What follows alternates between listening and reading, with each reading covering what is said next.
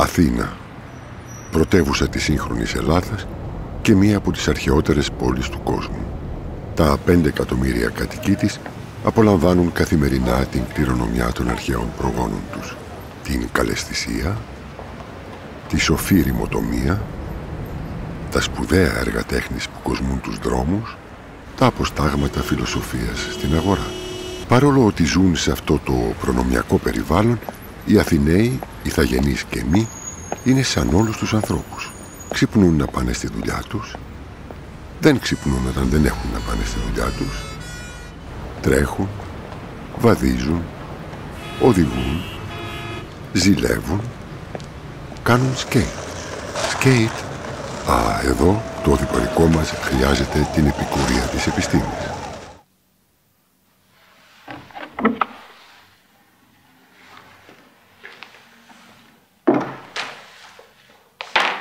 Κυρίες και κύριοι, το skateboard.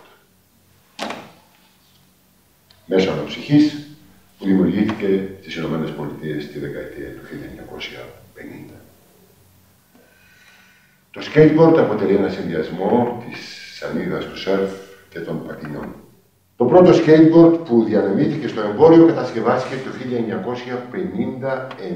1959 σε μια προσπάθεια να ικανοποιηθούν τα άτομα που ήθελαν να είχαν πάθος με το σέρφινγκ και ήθελαν να το εξασκούν, ακόμα και όταν ο καιρός δεν ήταν καλός.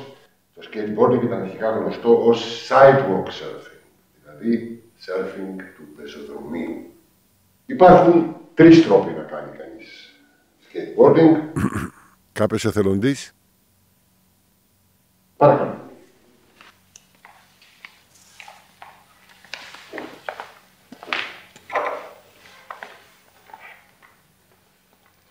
Με κανονικό πόδι, που σημαίνει το αριστερό σας πόδι μένει εμπρός και το δεξί πόδι δίνει την όθηση. Πολύ καλά, πολύ καλά, πολύ καλά.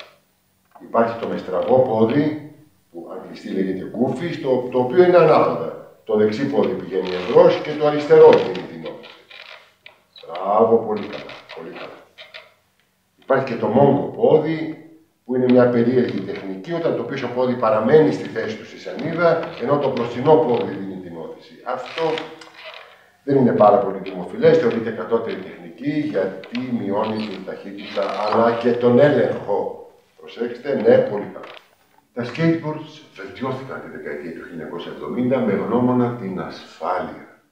Και μια που μιλάμε για ασφάλεια, να σας πω ότι προσφάτως ερευνήσαμε 186 περιπτώσεις τραυματισμών από σκάφη. 92% των τραυματιών ήταν άντρες και φυσικά το υπόλοιπο 8% γυναίκες.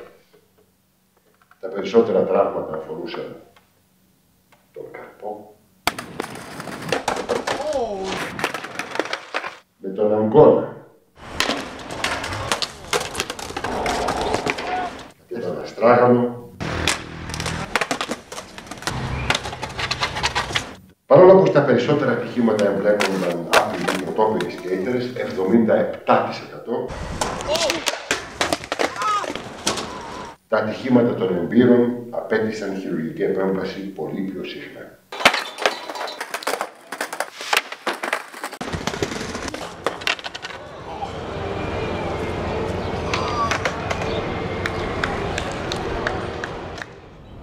Ο μέσος Αθηναίος σκέιτερ μετεξέλιξη του αρχαίου κούρου, είναι άνθρωπος πολύ άσχολος, με ιδιαίτερη ενδυματολογική άποψη, συνήθως πράος και γλυκός, με επικοινωνιακό χάρισμα και πολλές ακόμα αρετές.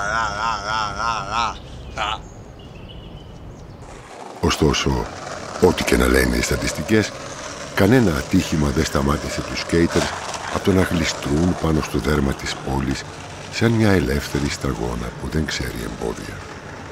Ίσως το μόνο που μπορεί να τους σταματήσει είναι κάτι άνθρωποι σαν κι αυτόν που ονειρεύεται πως είναι σκέιτερ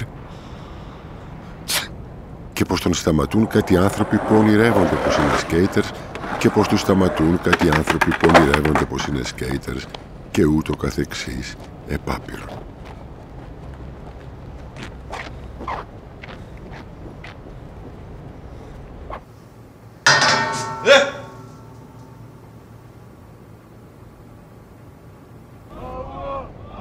Όμως οι skaters, πάντα μια γροθιά και εκθέτοντας τα πιο αφοπλιστικά τους επιχειρήματα,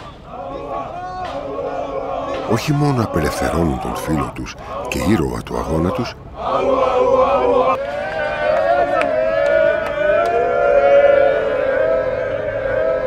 αλλά και φύση γενναιόψυχη όπως οι αρχαίοι Αθηναίοι δίνουν την ευκαιρία στον βάρβαρο να εκπληρώσει το όνειρό του. Ο βάρβαρος ενδίδει στο σατανικό παιχνίδι όπως το είχε πάντα στο μυαλό του και ζει αυτός καλά και εμείς ακόμα καλύτερα.